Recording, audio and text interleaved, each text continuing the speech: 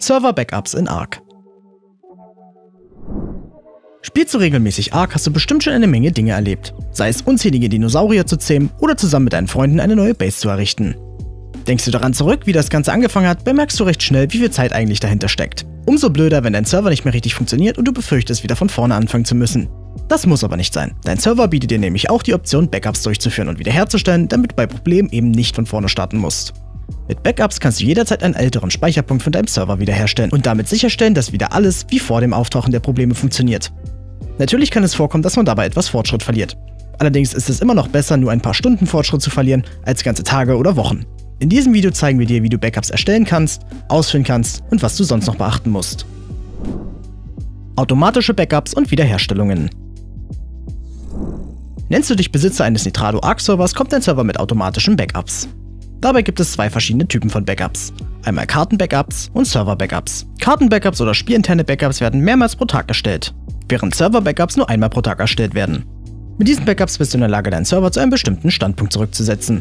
Ist deine Karte plötzlich kaputt, dein Spiel funktioniert nicht mehr richtig, was auch immer. Mit einem Backup bist du in der Lage, einen Zeitpunkt wiederherzustellen, zu dem alles einwandfrei funktioniert hat. Dabei verlierst du allerdings etwas Fortschritt, je nach Backup-Typ. Jedoch trotzdem besser als ein kaputtes Spiel oder noch einmal ganz von vorne anzufangen. Um deine Server-Backups zu finden, musst du nicht viel tun.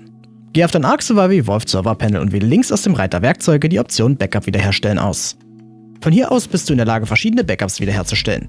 Hier siehst du auch die verschiedenen Typen. Einmal die Karten-Backups bzw. die spielinternen Backups und dann die Server-Backups von einem oder mehreren Spielen.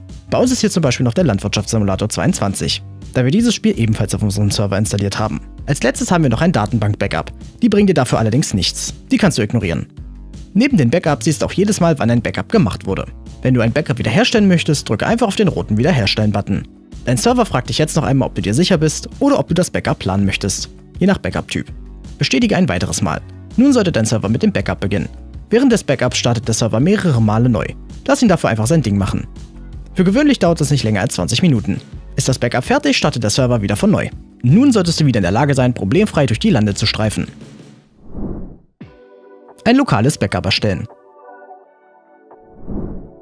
Lokale Backups sind eine weitere Option, deine Daten zu sichern.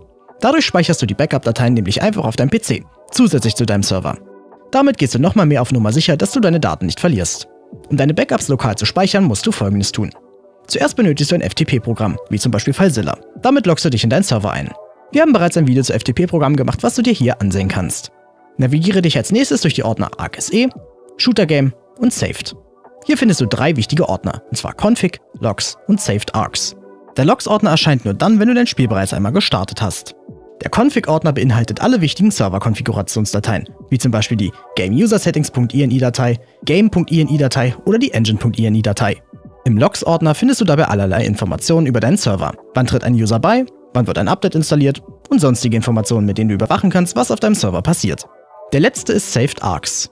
Das ist wohl der wichtigste der drei Ordner. Dieser enthält nämlich alle deine Spieldateien, wie zum Beispiel deine Speicherstände. Bist du auf der rechten Seite in dem Ordner gelandet, kannst du auf der linken Seite einen neuen Ordner auf deinem PC erstellen und nenne ihn am besten Arc Server Backups und das Datum. Damit findest du den Ordner einfach besser wieder.